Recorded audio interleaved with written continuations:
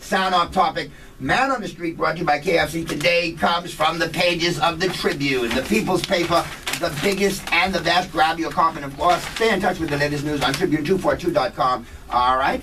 And of course, our question is we did it when uh, the, the member of parliament for Marco City and Freeport, MP Mr. Greg Moss, left the PLP.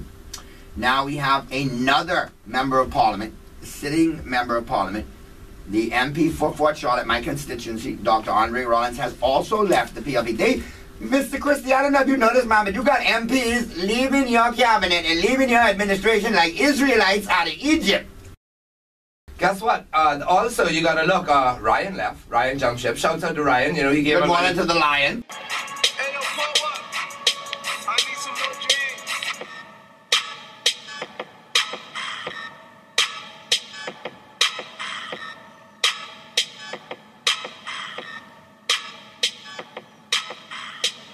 He came up at the comedy club. Yeah, he bought me a few Big up, drinks, big up, big up. That that's one. Right. Two. Is Mr. Moss. Three. Is Mr. Rollins. Three. And four could be possibly Rennie Wells, because you know how Rennie go. The Rennie law. He ain't gonna really say, but he can say, but he ain't gonna really say that he say that he say that he didn't say that he was gonna say that he wasn't gonna say that he was gonna say. Mr. Speaker, my FATE, Bulldog, is not in the hands of any man. My all group of men and women, my FAT is a wannabe Rockweiler. FAT Pitbull.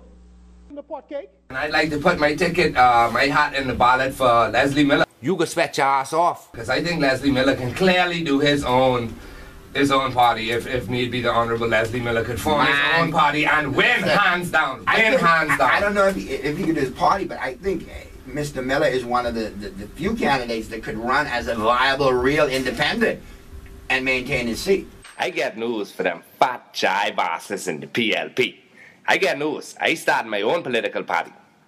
The Vote for Leslie campaign, and I whooping ass. That's right. I whooping ass. You all want to talk with me and cutting off light. And if I speed woman, don't worry. I can whoop your ass. And that's what I can do. And I can start this thing fresh. My own party. So shout out to Leslie Miller. I saw you at the party the other night. He's having a think- cocktails on Eastern Road. He's big on Eastern Road, you know. I think that's what we're going to do. That is our sound off segment today. Man on the Street topic brought to you by KFC. Dr. Andre Rollins has quit the PLP. The, the stack, well, third if you look at it. If you count uh, Mr. Pinder and then Mr. Morris, now you got Mr. Uh, Dr. Rollins. So that is your question. What is what is going on? MPs are leaving the governing party like Israelites out of Egypt. What is your take on Dr. Andre Rollins? The same question we ask you with, uh, you know, the member of parliament from Marco City, Mr. Greg Moss. What is your take now on this move? What does it signify for you? Does it forebode maybe a cross to a new party, the formation of a new party, independency, or maybe crossing to maybe the red shirts or the green shirts? He was disgruntled for quite some time, though, from when he started taking up for his boy. And that's why sometimes when you see problems on the job, you leave it. Because he got all disgruntled. Disgruntled? No. Let's be real. He was disgruntled from when LBT gave him that screamer. Give me one. Bam! No, if you really want a Loretta, yes, sir. Can I speak up like Rollins? Like I was really upset about the situation. You got your topic, but go on the street. Just eh? give me one like Rollins. Just, I'll, I'll, Butler did it. Give me it like a real Long Island woman. But you, you, just, you think that's for game? I'm speaking up on I, I, I don't, unprofessional. We are going to see what the streets have to say about this. I, I can't talk against Rollins.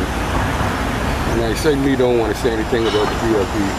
I feel like his departure was long overdue.